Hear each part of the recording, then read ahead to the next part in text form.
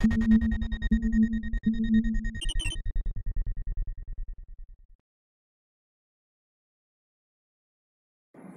guys, so Ekraft Geeks are back to continue with our next thyristor, DIAC. A DIAC is a full wave or bidirectional semiconductor switch that can be turned on in both forward and reverse polarities. The name DIAC comes from the word diode and AC switch.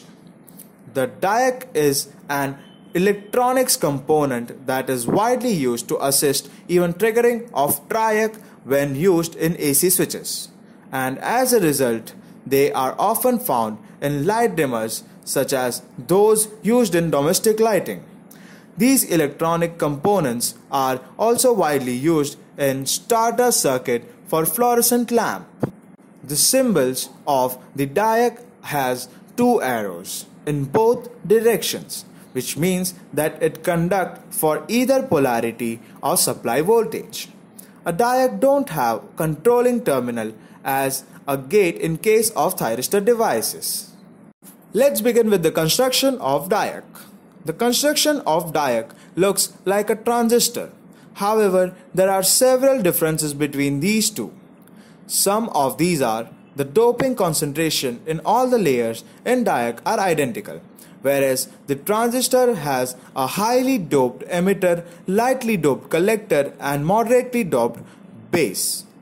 Transistor is a three-terminal device whereas the DIAC is a two-terminal device. The three regions in DIAC are equal in size. The DIAC can be fabricated into 3, 4 or 5 layer structure. The 3 layer structure is more commonly used than other structure. The three-layer DIAC can be constructed in either PNP or NPN structure. In PNP form, two terminals are connected to the outer silicon P regions, separated by N region. The structure is same as PNP transistor with no base connection. VI characteristics of DIAC is shown in the figure. It looks like a letter Z due to symmetrical switching characteristics or each polarity of the applied voltage. The DIAC performs like an open circuit until its switching is exceeded. At that position, the DIAC performs until its current decreases towards zero. Because of its abnormal construction, doesn't switch sharply into a low voltage condition at a low current level like the triac or SCR once it goes into transmission. The DIAC preserves an almost continuous negative resistance characteristics. That means voltage reduces with the enlarged current. This means that unlike the triac and the SCR, the DIAC cannot be estimated to maintain a low voltage drop until its current falls below the level of holding current. Now let's begin with the working of DIAC.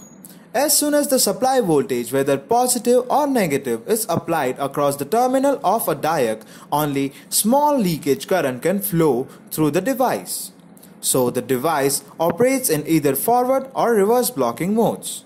When the applied voltage is increased to a value such that it is equal to the breakover voltage, an avalanche breakdown occurs at the reverse bias junction. Then the DIAC starts conducting and exhibits negative resistance characteristics.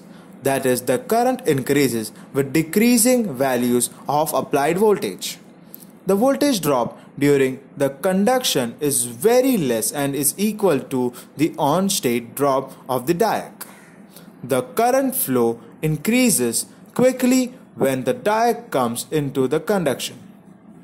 Therefore, for safe operating level of these conduction current in either direction a resistance is connected in series with the DIAC.